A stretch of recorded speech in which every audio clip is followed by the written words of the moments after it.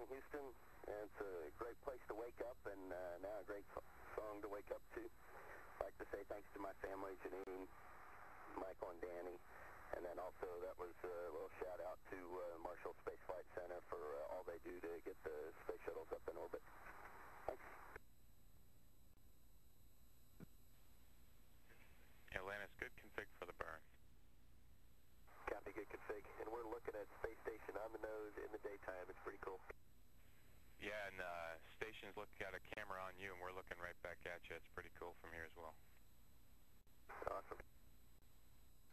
Two engines will fire for 1 minute 3 seconds, uh, changing the uh, velocity by 100 feet per second or about 68 miles per hour. This will uh, raise the perigee or the low end of Atlantis' orbit from 145 up to 210 statute miles and the apogee or high end of uh, Atlantis' orbit from 212 up to 214 statute miles.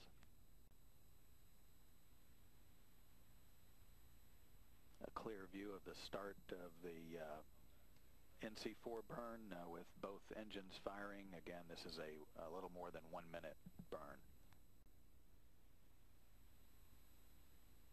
Aboard uh, Shuttle Atlantis up on the flight deck, uh, mission specialist Piers Sellers uh, there on the uh, left.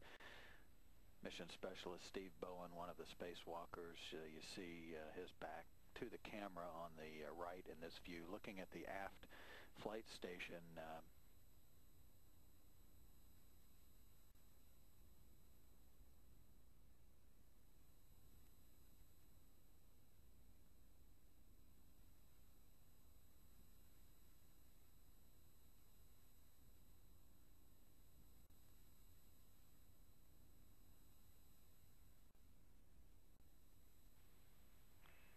Atlantis, good config for the burn.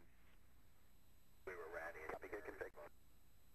This will be a 12-second uh, firing of the left orbital maneuvering system engine, a delta V or total change in velocity of 9.6 feet per second or about six and a half miles per hour.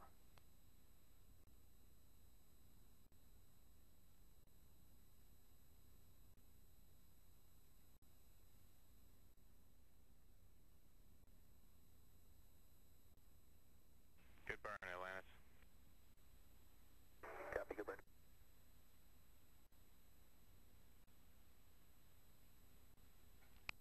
Using the uh, sequential still uh, photo imagery uh, from Space Shuttle Atlantis of the International Space Station. The uh, current range is uh, just under 39,000 feet, about seven, uh, seven and a half statute miles away.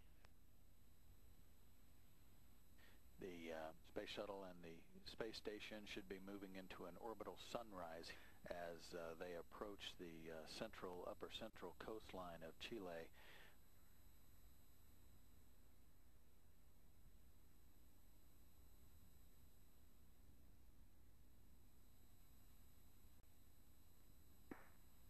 Hey, uh, you guys look gorgeous, man.